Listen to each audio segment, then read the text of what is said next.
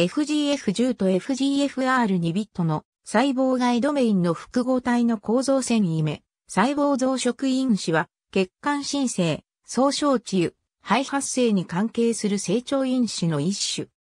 FGF はヘパリン結合性タンパク質で細胞表面のプロテオグリカンの一種へパラン硫酸と相互作用を持つことが FGF のシグナル伝達に不可欠なことが明らかになっている。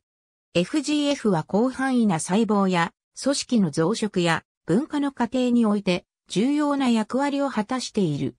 人では22種類の FGF が同定されており、そのすべてが構造類似性を持つシグナリング分子として知られている。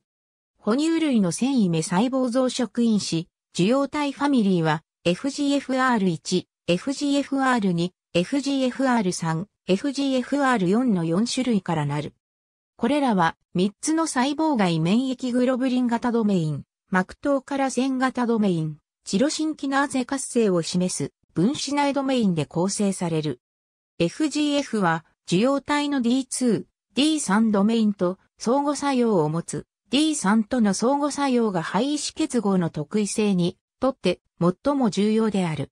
D3 ドメインはヘパラン硫酸結合を仲介する。D1、D2 ドメイン間にある酸性アミノ酸残機がわずかに伸長しており、自己抑制機能を示す。この酸性の箱とも言うべき構造がヘッパラン硫酸結合部位と相互作用し FGF が不在の時受容体の活性化を防いでいる。選択的スプライシングが起こるため、FGFR1、2、3には、それぞれ B 型、C 型の変異型がある。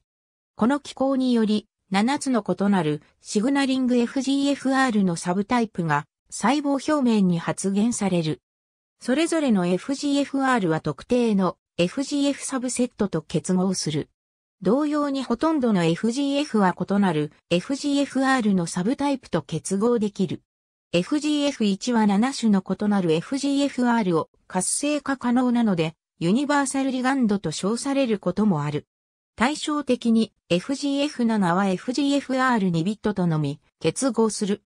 細胞表面でのシグナル複合体は、2つの異なる FGF 配位子、2つの異なる FGFR サブユニット、一つまたは二つのヘパラン、硫酸分子差からなる複合体であると信じられている。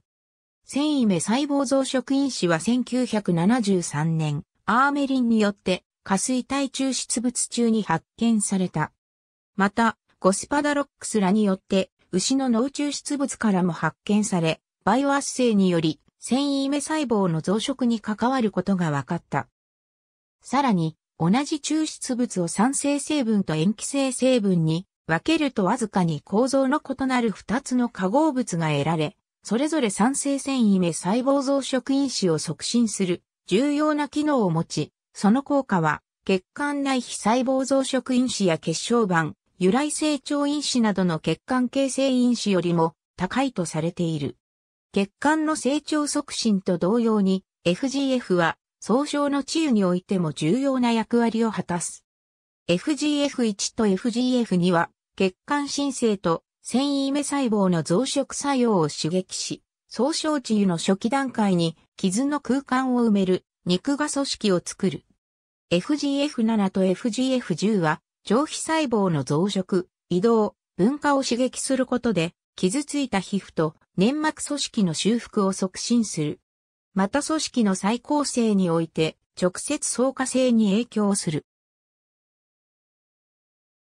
FGF は中枢神経系の発達器官に神経発生、軸索成長と分化に重要な役割を果たし、また成人の脳の機能維持にとっても重要である。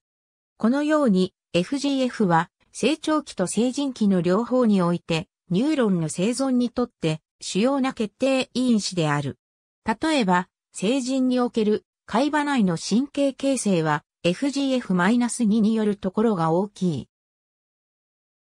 加えて、少なくとも海馬において FGF-1 と FGF-2 はシナプスの柔軟性と記憶と学習プロセスの制御に関係していると考えられている。ほとんどの FGF は分泌タンパク質であり、ヘパラン硫酸と結合するため、ヘパラン硫酸プロテオグリカンを含む組織の細胞外マトリックスに取り込まれ、パラクリン的に局所作用を示す。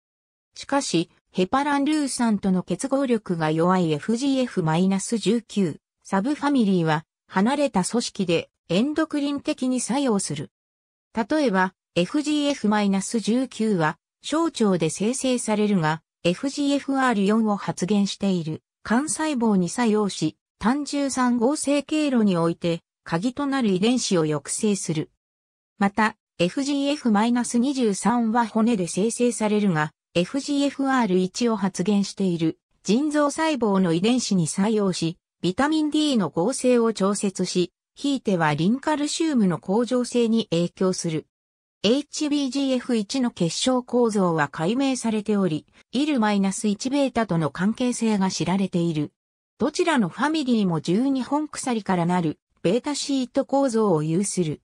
ベータシート構造はよく似ており、互いの結晶構造は重ね合わされるが、シートをつなぐループはあまり一致しない。ありがとうございます。